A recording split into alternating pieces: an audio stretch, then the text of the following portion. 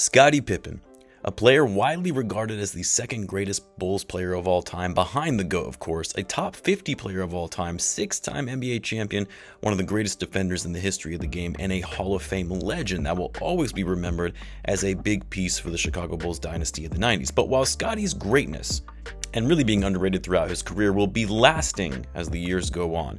Pippen has suddenly started turning on all of those who he was close to throughout the time period playing in the league, burning bridges, throwing people under the bus, and giving some of the worst takes we have seen in recent memory. That it's now getting to the point where Scottie is tarnishing his own legacy and what the younger generation will remember about him. And it's what we'll be talking about further in this video. So what's going on everyone? You're listening to Bull Central here. Hope you're all doing well. Now, some of you already know this if you've been following the channel for a while, but I was fortunate enough to witness the Bulls dynasty in the 90s. Yes, I'm old. I was a kid during those years, but unlike a lot of younger Bulls fans today who weren't born until after the Bulls' last championship, my first basketball memory was the Bulls winning the championship in 92 over the Portland Trailblazers when I was 6 years old.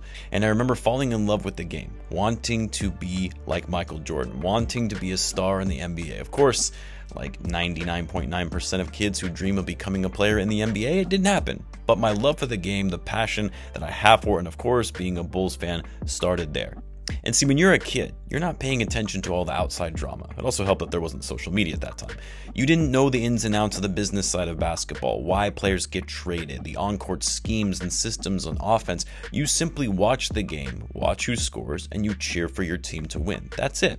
So while there was this drama brewing behind the scenes, sometimes not behind the scenes, specifically with Jerry Krause and Phil Jackson, but as a kid, you didn't follow any of that. So now, growing up, and especially after watching The Last Dance and knowing some of the challenges and issues this team went through during those glory years, you see why there is some bitterness, some resentment from players, even 25 years later. And that couldn't be more palpable based on what Scottie Pippen has been saying about his time with the Bulls. Obviously, you saw a couple years back when Pip was launching his new liquor brand as well as his book. He was making appearances on people's shows. The one that comes to mind was his appearance on the Dan Patrick show, where he openly called Phil Jackson a racist when he called for that final shot to go to Toni Kukoc in the 94 playoffs over the New York Knicks.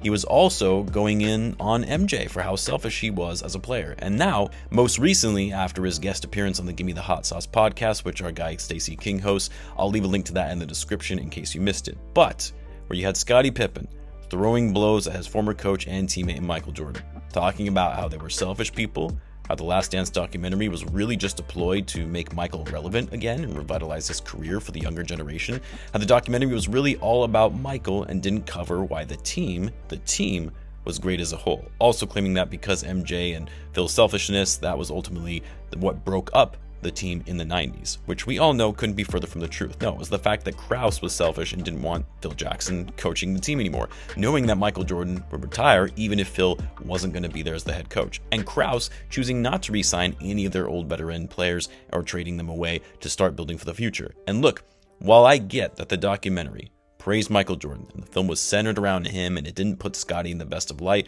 when it came to highlighting him sitting out that last play drawn up for Kukoc, or him opting to wait to have surgery in that final season until training camp instead of the start of the summer so he could actually rejoin the team sooner. I get it. The film worshiped Michael. And Scottie, who was an enormous piece of that franchise, was left out of the light. But you have to remember, this was MJ's team. He was and still is an international icon, widely known as the greatest player of all time. I'm sorry, but how did you not expect that to be the case in the documentary focusing on Michael Jordan? And it wasn't all flowers for MJ either. They put Mike in a bad light as well, showing how he berated players, would get in fights with his teammates. MJ got heat in that film as well. But for Scottie to come out after the documentary, years after they all played together, and to be criticizing his former teammates, burning bridges, and holding grudges so many years after the fact when you're in your 60s now. Like, come on, time to move on. It's not healthy to have all of this built up resentment over something that happened years ago.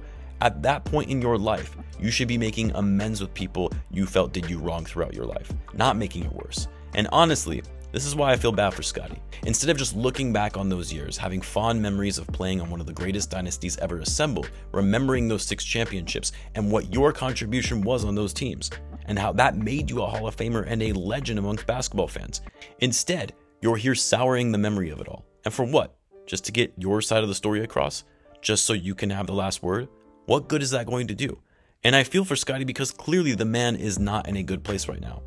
He's not in the right mental state. I mean, some of the things he's saying are so objectively untrue that it makes you wonder if he's starting to lose it completely. And you can't blame the man for hurting right now. His wife divorced him after cheating on him for a number of years. She then goes on to date Michael Jordan's son, which is just insane to me and an ultimate slap to the face for Scottie. The playing days are over. They've been over for a while. The playing days are over. Well, they've been over for a while. But for a time, he was the ambassador to the Bulls, but they got rid of him and brought in Toni Kukoc to take on that role. And for Scottie, he's struggling to stay relevant. His wife left him. His former team fired him. He's lost a lot of money on bad investments, according to him.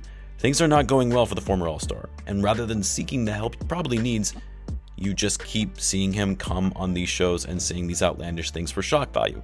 And it's a sad state to see.